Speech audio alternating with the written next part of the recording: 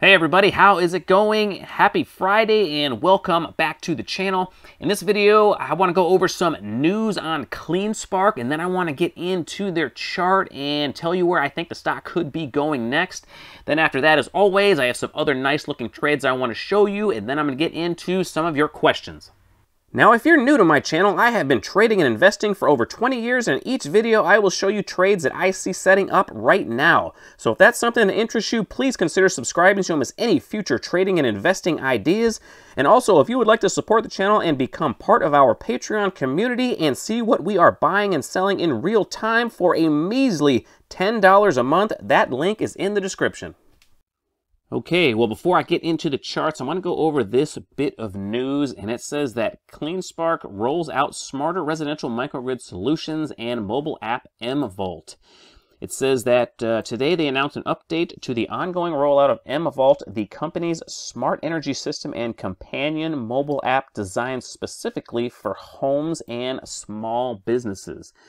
So I think that this part of their business, well, actually, the whole company is getting no love from Wall Street, but definitely this part of their business is getting almost no attention at all. Everybody's focused on the Bitcoining, mining side, and of course, that is the most exciting side. But a lot of people are forgetting that this microgrid industry is supposed to grow at about 28% compounded annual growth rate for the entire decade, reading reaching an estimated 40 billion. So, uh, CleanSpark is doing a fantastic job creating this product and um, you know, taking advantage of this growth that is going to be happening on uh, this side of their business. And it says that CleanSpark's residential microgrid solution mVolt is available for California customers with a national expansion to follow. So these numbers should continue to keep growing for this side of their business. I mean, just another under the radar bullish uh, piece of news from CleanSpark. Um, obviously, this is not going to move the needle on the stock price, but man, just a great piece of news. And uh, goes on to say that mVolt is built off the same platform as CleanSpark's existing patented mPulse product, which is tough enough for the military and is also flexible enough to be used in commercial, industrial, and estate home applications. And going down the article a little bit more, it says that mVolt is a single solution for resilient, reliable, and cost-effective energy for residential properties of all sizes. This system is fully configurable according to the user's needs. So this thing is very flexible. You can see why it is really starting to pick up uh, traction. And it says homeowners can start small and expand the modular system without significant design changes as their goals or requirements grow mVolt enables a system to use power generated from multiple sources, including the main utility, solar, or battery. It also supports storing energy for use during utility disruptions or when economic opportunities exist to lower bills. So this could potentially make you some money or at least save you uh, quite a bit when uh, the utility rates are cheaper. Now, the CEO, uh, Zach Bradford, goes on to say, We anticipate using our microgrid technologies to create cost effective product offerings which can, can add significant value to the residential energy sector by giving homeowners the choice of power so that they can determine the best application for their individual needs. And you wouldn't, you would have to expect that these systems would also add value to the home as well. But the uh, CEO says that the pandemic made it more apparent how important self reliance can be by giving our customers the opportunity to generate, use, and store energy with a focus on renewable sources. CleanSpark is committed to supporting that process. So I think uh, this is just another small tidbit of good news for that side of their business. Just another bullish reason to own this stock. I think eventually um, Wall Street is going to notice the hidden gem in CleanSpark. Until then, uh, I'm just going to continue to accumulate this stock. This one is my favorite stock at the moment just because there is so much potential and the stock is going down. Those are usually the ones that I do the best with. And uh, man, I just continue to uh, like the news coming out of CleanSpark. So let's uh, let's get over to their chart and see uh, how the latest action is cooking. All right, well, the first chart I want to go over is CleanSpark's daily chart, but honestly, uh, whatever time frame I bring up, there really isn't a whole lot shaking with CleanSpark. It's not doing anything today. It's up uh, nickel at the moment, so it's basically flat. I added some shares at $10.76, and it's right at 10.77, so basically right where I added. I believe that brought my average cost down to uh, just under $14 a share, give or take. Um, I did sell about $500 worth of premium uh, that's expiring today. So barring some miracle, if, unless it gets over $15 a share before the close, I'm going to be uh, collecting all of that premium and I'm going to be holding on to all of my shares as well. So that'll come off how much I'm actually down in the stock. It's uh, probably down, what, about uh, 25, 30% at the moment, which that's not uh, terrible. And honestly, some of my best investments um, I ended up buying and then I had to uh, continue to average down because I like to buy stocks when they are going down. I don't like to buy them when they're going up. And the chances of me calling an absolute bottom are pretty slim. And honestly, I don't want to call the absolute bottom because if I do, it's harder for me to add as the stock is going up. I like it when they continue to pull back and I can add at lower prices. So CleanSpark is working uh, pretty much perfectly at the moment. Hopefully it doesn't go down forever and it stops soon. But um, judging by the way this little four bar cluster is looking, I would expect some more downside. I think if this thing, if this thing breaks 1040, we're going to see single digits uh, probably pretty quickly. And if that happens, I'll certainly be adding for sure. Um, there is no reason to be selling this stock right now. Um, there's way too much upside in this stock. I don't want to be selling anywhere near the bottom. I've been in this situation before. In fact, um, uh, pretty much all of my biggest winners have kind of worked out like this. You know, I had to buy and then average down a little, then average down a little again. I mean, one of my biggest winners, I think I was down Oh god, what the heck was the name of that stock? It's been so long. I was down about 65% at one point and it kind of hung around down there for a couple of months and you know, I was thinking maybe I should get out of this stock, but the more I looked into it, the more I was reassured that things were on the up and up and I held on and then I ended up making about a 5x on that stock before they got bought out. I probably would have made more. But, uh, you know, sometimes it just takes a while. And if you're down in a stock and you look into it and you're still liking what's going on with the company, there's no need to sell at the lower prices. Now, if, if, things change within the company and um, you don't want to be an investor anymore, there is nothing wrong with taking a loss and uh, moving on to another trade because you can always use that loss to offset gains in uh, other company or other trades that you make. So, I mean, for me, there's no shame in taking a loss, but that I have no uh, no desire to do that at the moment. And in fact, I think the CleanSpark 2024 leaps, the leap calls come out in September, if I'm not mistaken. And if CleanSpark is under $10 in September when those things come out, I am probably going to load the boat on those things because uh, if CleanSpark ends up making it up to, you know, $50, $60, $70 in the next couple of years, those things are going to be worth a fortune. I think that is going to be a fantastic opportunity that I am not going to pass up. I've been contemplating buying the 2023s, but if the 2024s are coming out soon, uh, I'm going to roll the dice and see if CleanSpark stays under $10 a share and if it or stays right around this price or goes lower. And if it does, uh, I'm going to be uh, buying some of those uh, leaps for sure. But let's get into uh, some of the other charts I want to show you.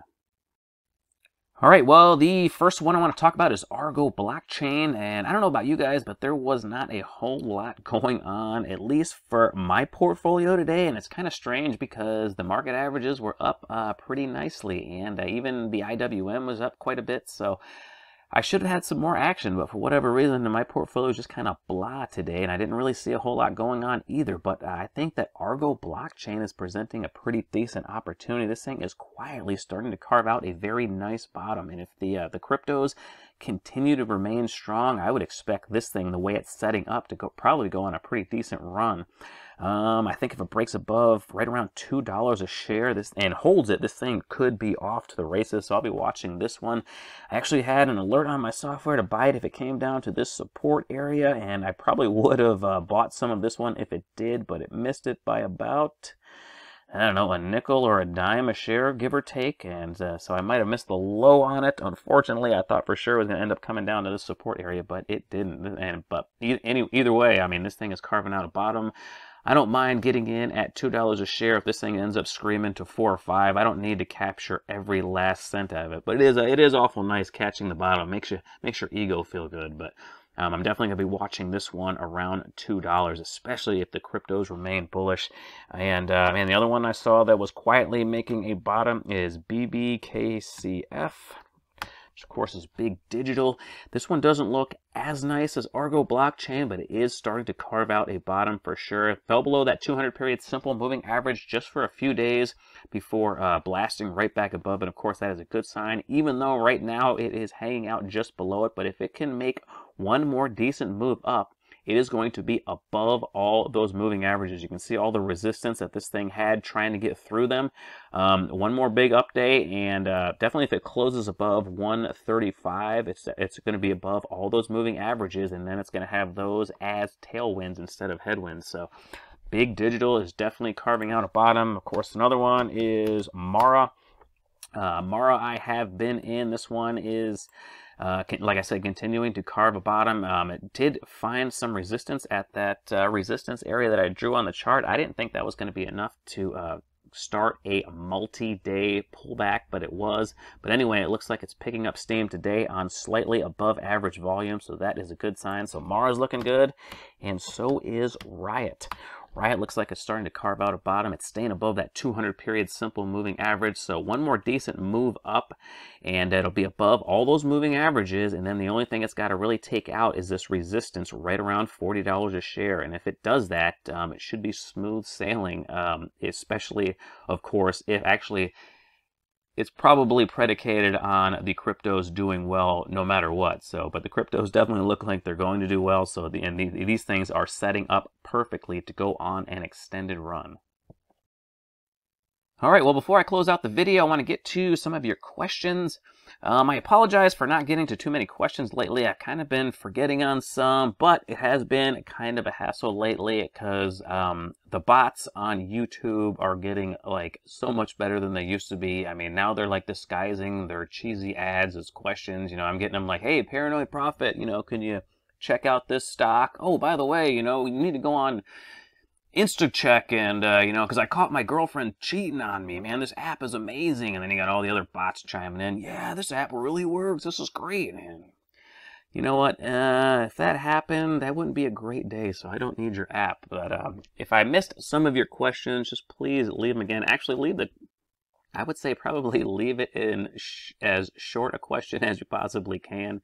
Because uh, ones that usually run on are those, you know, those moronic bot ads. But anyway, uh, I had a question about some of these maritime stocks, and um, man, I bought ship way back here, I remember, and this thing looked like it was starting to break out. Then it reversed, and it stopped me out as it broke down below those moving averages. But it looks like it is uh, still trying to carve out a bottom a little bit. Um, it still could end up taking some time, but it is a bullish looking chart at the moment. It's definitely got to get above 130 before it can go on any kind of an extended move to the upside. But the other one was about GLBS. Uh, ship definitely looks a heck of a lot better than this one. This one is in a slow death spiral. I would avoid this one for sure. You know, you don't want to be touching any of these until they start resembling carving out a bottom. It looked like it was sort of doing it right here at the end of June, but then you had that gap down failure. So right now, um, if you did end up buying it right here and you got caught up in this nonsense, you know, this is definitely when you want to get out. Don't, you know, don't hang around and wait for these things to potentially come back. Come back. You know, if you get a big gap down like that below all the moving averages, um, just take your loss. And uh, you know, if the stock does end up um, moving back up, you could, of course, always get back into it. I'm not saying that's um, what is your situation right now, but as far as buying this thing right now, I personally wouldn't touch it. Uh, not, un not unless it starts carving out a bottom. But um, the next question was from Dr. K. I thought that was Dwight Gooden back in the day, but I guess not. Or maybe it is Dwight Gooden sending me a question. Who knows? But this one was NOKPF. Oh, NOKPF. Um, this one is a very cheap penny stock, uh, 7 cents a share. Um, this one I probably wouldn't touch either. This one looks like it's probably going to have to go sideways for uh, quite a bit longer. I mean, you never know when these things end up breaking out because it definitely looks like it's under some accumulation. But usually when you see a pattern like this, it ends up having to go sideways for quite a while. Now, if you have some information on this one that it might be taking off, um, you didn't share that, but um, just judging by the chart pattern, this thing looks like it's probably going to have to go sideways for a while, um, but it's definitely under accumulation. I mean, this is how the patterns usually start before they go on big runs. But this thing might need to go sideways for years, and you don't want to be sitting in a stock like this um, you know, with just capital going nowhere. You want to wait for it to break out, hold a little bit of a breakout so this moving average catches up and then start to move out again and then, you know, kind of buy it as it's, you know, jumping off that eight period exponential moving average. And that's when you can catch these things just as they are potentially getting started. Just because they make this pattern doesn't guarantee they're going to take off, but they always seem to make this pattern, this type of pattern right here before they take off. Maybe I can uh, find one in your next chart you were asking about. TAWNF. TAWNF, Thai Airways, and basically the same thing. I mean, this thing looks like it's probably going to have to go sideways for quite a while. It's trading at 9 cents right now, so, um, you know, we got some accumulation going on right here, but just by the way it has crashed down and the look of the pattern, you know, this thing could end up going sideways for a long time. So, if you are in this, just uh, and you want to stay in it, just uh, realize you might be in for a long wait once it finally does get going. If it finally does get going, uh, and if you are thinking about getting into it, I would just wait for you know one of these type of moves right here. Let me see if I can zoom in on it a little bit here. It gets hard to zoom in on these stocks that are really cheap. Might not be able to do it here anyway, you know, you want this type of pattern and then uh, start to move up and a hold. You know, once you get, if you get that big, uh, fast reversal, then obviously you want to let it go. But if you get a little bit of a hold and this moving average catches up, then that's when you'll notice these things uh, really start to take off. I, God, I had some penny stocks right off the top of my head that uh, I thought were making moves like that that I would like to show you. Let me see if I can find one here. Um, oh, N N save was one of them. Net savings. Oh, Let's see if I can adjust this chart a little better. Yeah, this is this is what you want to see right here.